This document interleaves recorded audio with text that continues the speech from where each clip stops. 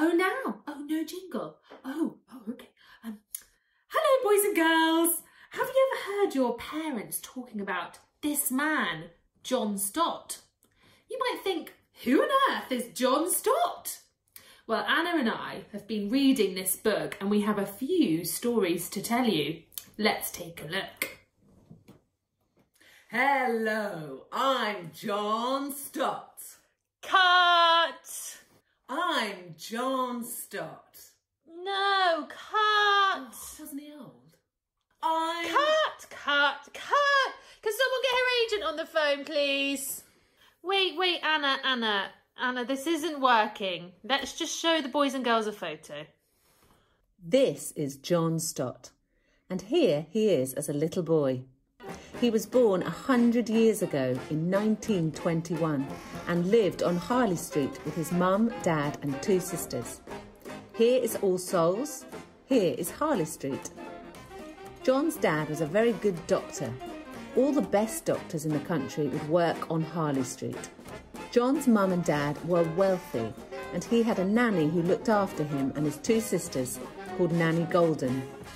She took them to Regent's Park where they saw lots of animals.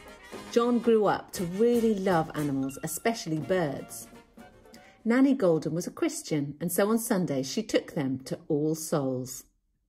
They would sit at the front on the balcony, and during the prayers, when everyone's eyes were shut, John and his sister would search their pockets for scraps of paper, screw them up into balls, and drop them over the balcony onto the hats of unsuspecting ladies below. Amen.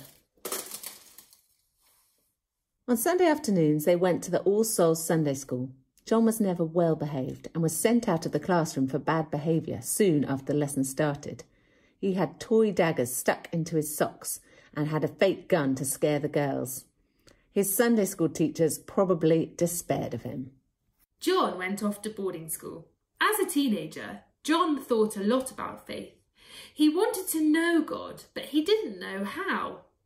He made friends with a boy at school who took him along to a talk by a man called Bash. John asked Bash lots of questions and he found out that everyone sins and that sin separates us from God. But through Jesus, we can be forgiven and part of God's family. That night, John gave his life to Jesus. John decided to become a vicar, and when he was 29, he started working at All Souls. All around him was lots of wealth, but also extreme poverty. After World War II, people were without jobs and housing, and many lived on the street. John Stott grew up in a very wealthy family who had lots of comforts and good things. But from a young age, he was very aware of people who had a lot less than him. He wanted to give support to these poor people. So rather than visit his family at Christmas time, he delivered food parcels to 70 local families in need. John's concern for the poor was increased by his faith. Jesus gave his followers two commandments to love God and to love your neighbour, those living around you, as yourself. John wanted to follow Jesus' commands. He saw those living in poverty around him and he wanted to love them. One day in October, he wanted to know more of what it was like to be homeless, to have no one really care. So without telling anyone, he walked down to Charing Cross Bridge, where several homeless men and women slept. There were no blankets or beds available, only newspaper to try and keep warm. And John hadn't thought to bring any. So he made himself as comfortable as possible, but he didn't sleep much. He spent two cold and hungry nights on the street. But this experience spurred him on to love the poor and try and provide for them. And this is something that's still really important to the work of All Souls today. Later on, a charity was set up to help the homeless around All Souls called Aslan, which is still running today. John knew that following Jesus meant loving those that other people would overlook. As we've learned from Dr. Luke, Jesus came to seek and save the lost.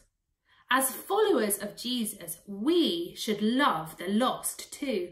You could pray with your parents about a homeless person that you pass by, Or you could pray for the work that Aslan does with the homeless. And one day when you're older, you could join in too. How could you raise money to help the poor in our city? Let's pray. Dear Father God, thank you for the life of John Stott and all that we can learn from him. And thank you for Jesus' two great commandments to love God and to love our neighbour as ourselves. Please help us to have the love for the lost as Jesus does. Amen.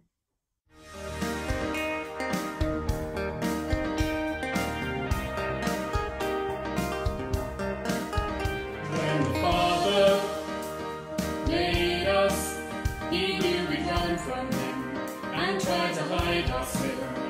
But He wanted to save us.